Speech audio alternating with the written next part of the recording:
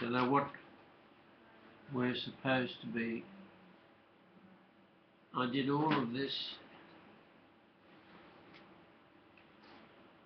an hour ago, put it all on the lovely screen and it all disappeared.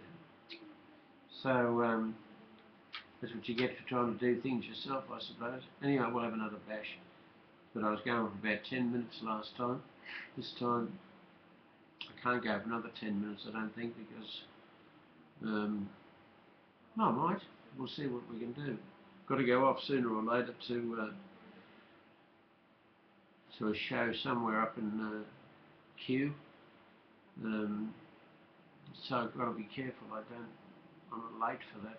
But the whole point of this appearance today is this Sunday's readings in the Roman Catholic churches around the world, including the Philippines, where the Pope, I presume, will be saying Mass on Sunday, and the text that will be being used will be this one. So whatever the Catholics are hearing, I'd like somebody up there to hear what the Catholics are hearing so that you can make up your own mind whether um, what they're hearing should in fact trigger uh, an upsurge in social activism for good and whether it's like recruiting people around the world um, to do things on the dark side. Maybe we've got an opportunity of realizing that if we stuck to these, the best of Jesus of Nazareth, and I'm speaking only about Catholics in Catholic churches, well then in fact you would have a vaccine for the virus, which allegedly is nibbling away at um, at uh, our lives, especially I suppose the Western lives. So this uh, this is what they were going to read, but I lost the place already. John chapter 1, 35 to about 40. It's not too long. The next day John was back at his post. This is John Baptist who was a young man. See, another young man looking for meaning. What am I going to do? His father was a priest in the temple in Jerusalem. Um, allegedly a humble kind of down class, underclass priest because there are all kinds of gradations as there are amongst the rulers of the universe. And his daddy was, um, uh, and his mother, of course, backing his daddy up, were on duty regularly in the temple in Jerusalem. That place that has caused so much trouble around the history of humanity uh, since it was built, since it was pulled down, since it was built again, and since it was pulled down again by um, the last time the Roman occupying army in about 60 AD as we called it.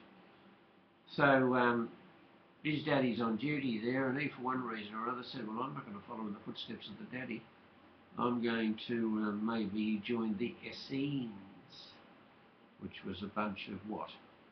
Ideologues spiritually driven, not religiously driven.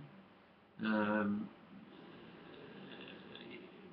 and, and maybe even, I'll say later if I could keep going long enough, maybe the, uh, the Zealots, who were a bunch of young men, um, Jewish young men who, who were prepared to band together and put up a bit of a militant struggle against the Roman occupation force. Now we've heard all this before in the news about uh, young men, whether it's ISIS or ISIL or Daesh or whatever other derogatory term some of us in the West are using, um, these young men were a pain in the neck as far as the Roman occupying army was concerned. Now was Johnny Baptist one of them? I don't know.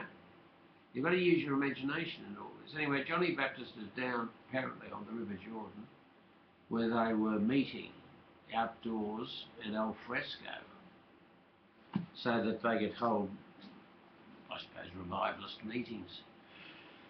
And there he is, and he's offering um, initiation into his movement or the movement for anybody who likes to take a step into the water. in which case he will pour water over them and they'll be born again uh, as Jews. He was more interested in reviving uh, authentic Judaism than starting something new. It will be alleged later, of course, that his brother Jesus, uh, not his brother, his cousin Jesus, was um, uh, not trying to what toughen up tired um, Judaism, but even uh, prepared to uh, start a new branch of Judaism, or even others would say, starting something completely different. Anyway, Johnny Baptist is there, and along comes his cousin Jesus, who was always on the lookout for uh, for a bunch of people that he could maybe enlighten, inform about his point of view. Um, and that's going on all, uh, these days. It's going on everywhere, Middle East and, and, elsewhere, where there are some key young men who, in fact, uh, are really determined that others will hear their point of view about the world as it is. So these guys, um, there he is, and he sees uh, Johnny Baptist, um, sees cousin Jesus approaching along the bank, gets a bit of a start and says, uh, there is the Lamb of God. In other words, he's, uh, he's using a term from the Torah, or the uh, what we call Christians do, the Old Testament, because we think there is a New Testament, including the Gospels of Jesus. Um, and there is the lamb. No, there's the sacrificial lamb, obviously, because the lamb was a sacrificial victim in Jewish uh, uh, rituals. Very important character, the lamb. So he says, there he is, intimating that bloke there's going to go through a hard time um, because uh, I'm going to invite him to join me, but if he doesn't join me, he's still going to go his own way and the way I do things is uh, pretty, what, unconventional as far as our own people and his own family is concerned. Your Jesus won't be that unconventional as uh, that young man, maybe 20 or something, because he's going to go back home to his uh, mother and father he's going to uh, become a, um, a young tradesperson and is going to live a suburban life until he's 30 years of age, then he'll go out and start his movement for a better world. So it's that recruitment thing that I want to draw to your attention. He then puts the hard word on um, on uh, Peter. Um, not Peter, he's already put the hard word on Peter to join him. Um, he puts the hard word on uh, uh, Andrew, who is Peter's brother, and has um, been down on the river with uh, your John Baptist doing ritually cleansing things and um, showing solidarity with the John Baptist cause.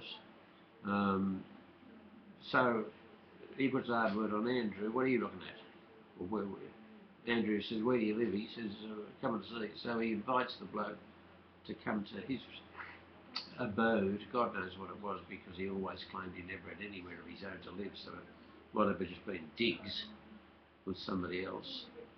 Um, in true Middle Eastern style, I presume uh, people uh, share their dwellings, same as so many other civilizations have, but the West won't, because the West like little houses of their own, um, and privacy is the most important thing, and singularity whereas uh, other cultures, in fact, prefer um, um, community, sharing. In the West, we've got kind of very what narrow idea of what community is. Um, we rely on departments of government uh, to be responsible for community building, whereas in other civilizations and cultures, in fact, it's up to every man, woman, and child. In fact, they have rules and regulations which startles us in the West. That says you've got to avoid this, that, and the other thing, which um, uh, we're arguing about these days about the cartoons and about Muhammad the Prophet, about how far do you go in uh, privacy and how far do you go in not offending people. Anyway, I'm only giving this to, I hope this one works, because I can't keep banging on for eight minutes every uh, every other ten minutes. Um, but uh, we'll see how she goes, and you tell me what you think about it. It'll go on YouTube, and um, we'll try again next week to uh, to maybe make some comments on other current affairs. Anyhow, goodbye and good luck to you all.